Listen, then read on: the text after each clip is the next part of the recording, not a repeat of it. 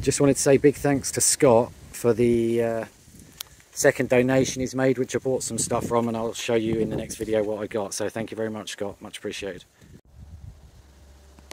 Good day, folks. It is Thursday.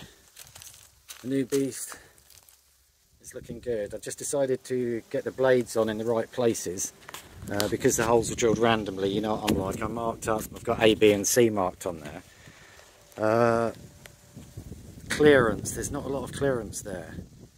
And I'm undecided whether to have the blades on the back of the hub that's what I'm talking about blades are on the rear of the hub or I can put the blades on the front of the hub. You'll see that's why that must have been why I cut this out. Remember this is a 10 mil thick plate welded onto a axle truck bearing in turn welded onto these two collars. Let's, let's have a like let's have some lights for how snug that is for some home chisel.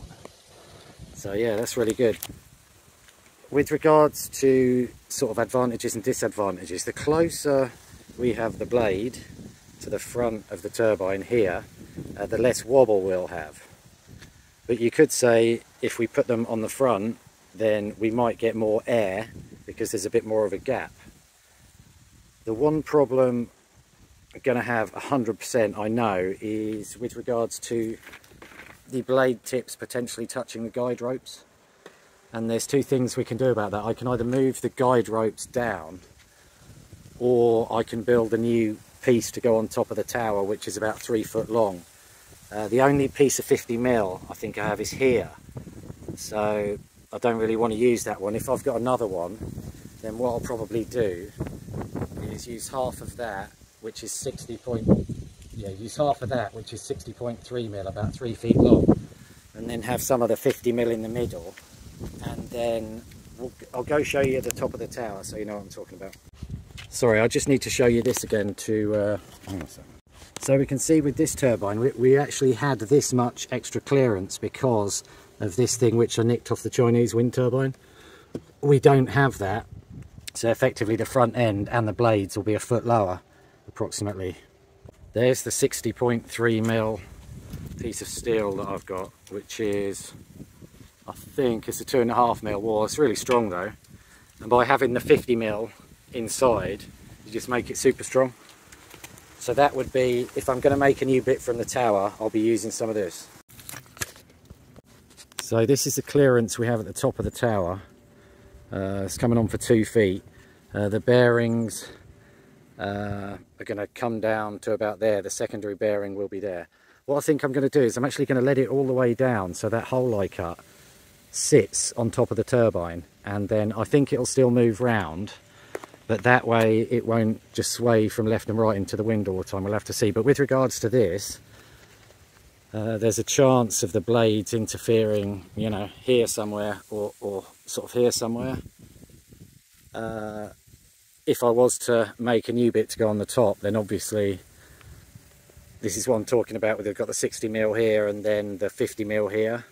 Uh, so it would be put sort of uh, put about two feet of the uh, 60 and then the other stuff would stick out about a foot more and then because I don't really like this I don't uh, it seemed a good idea at the time but it's just too much of a kerfuffle and I had to use that to stop it coming down. So the idea would be to weld some more of on like that eyes or whatever you call them, which I just made myself from six mil plate with the hole cut uh, in the middle. Some of the uh, oh, we won't get onto that, but yeah, that's uh, that's pretty much it with regards to the blades. I'm hoping to get some help on Sunday.